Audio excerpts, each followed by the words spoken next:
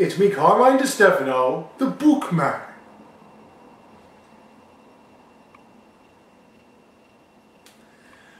Ah, and I'm back from the movie theater, seeing Spider-Man Homecoming. And before I get into it, I usually talk about the trailers. So I want to talk about the trailers that we saw before. And we did see Black Panther, and I think that's going to be one of the better obscure hero movies that Marvel makes.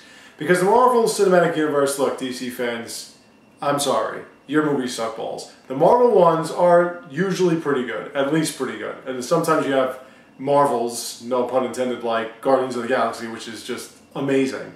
But usually they're pretty good. And Black Panther looks like it's going to be really good. They also had the Kingsman one and that Stephen King one, Dark Tower, which I know about that from reading a couple of his books.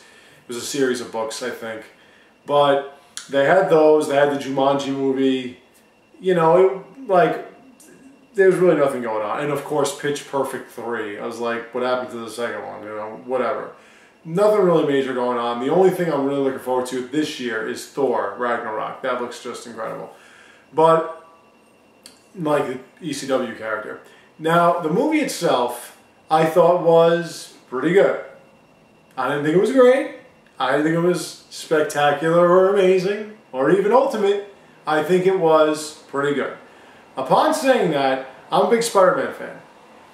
My incredibly awesome friend Frankie Love, who's probably going to watch this review, and I know is dying to call me, is a bigger Spider-Man fan. And I could name at least five things with this movie that made him hit the fucking roof. I know, I just know. I'm not going to really spoil anything for anybody. I'm not going to say anything. Really, I'm not. But there was a reveal towards the end of the movie that if some of these other things that they had in this movie didn't make him go through the roof, that one did. And Frankie Love, if you're watching this, I know you're going to call me. It's going to be the first thing you say. I'm just betting on it. I'm just betting on it. But be that as it may, yes, his friend Ned, who's the name of one of the hobgoblins, is like his sidekick and knows about it. Something else happened that I know Frankie Love is probably screaming about. I, I think my friend Frankie Love despised this movie. If not hated it, I think he didn't like it. But be that as it may, I thought it was pretty good. Considering it's out right now, I would suggest seeing it. They did get Toombs' backstory right, per se, in terms of what he did, but they never really announced that he was the Vulture. And on top of that, I don't think they gave him enough time. That was the biggest issue I had with this movie. They didn't give the Vulture enough time. They were so busy talking about Spider-Man trying to impress Tony Stark and all this stuff that they didn't really get into the Vulture. Now, they did leave things open. They did introduce characters that are going to be villains in the future. They did including one that I am very interested in because they've never done it before on big screen in any facet. And he's a big, big nemesis of Spider-Man. But if you see the movie, you should know. If you see the movie and you don't know, smack yourself in the face. Frankie Love knows what I'm talking about because we talked about it before.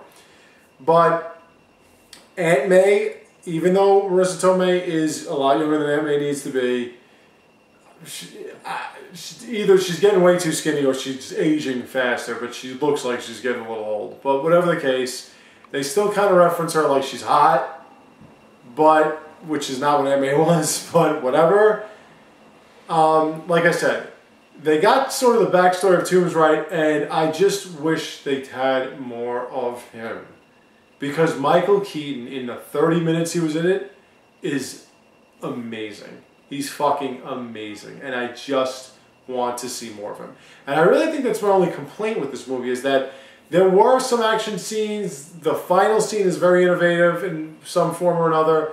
And they did harp on the idea that he was stealing technology and selling it. But I just wanted to see more Vulture and Spider-Man. That's what I wanted to see. It's, they kind of had like two battles with one another, maybe three. One, you didn't even know he was there. The other one was more like Spider-Man fighting with his weapon, and then the last one came about, and it was it just seemed like something that they revealed involving Vulture, and Vulture himself was kind of rushed. So if they could have put more Vulture in, I would have liked it better. But like I said, there are some things in this movie, some things that they've changed from the comic book that I didn't really prefer. And Frankie Love, I'm sure, skyrocketed through the through the roof. I'm sure he did. I'm surprised I didn't see like a nuclear explosion from where I sat. But other than that, like I said, seeing what's out right now, I would suggest seeing it. It's pretty good. If you're not a huge Spider-Man buff like Frankie Love and I, you probably wouldn't even be annoyed by what annoys us. But be that as it may, not bad on a scale of, you know, Thor, Dark World, Iron Man's two and Iron Man two and three, which somebody that watches my videos likes. That's fine. But on that, a scale from that to Guardians of the Galaxy, which is like a scale from one to ten in Marvel movies, I would place this at about a, you know, a little bit better than the first Captain America, not as good as the first Iron Man, somewhere in between there. So, you know, better than Incredible Hulk, that's for sure. So, thank you all for watching. I have more for you soon to come. So stay tuned, take care, and have a great day.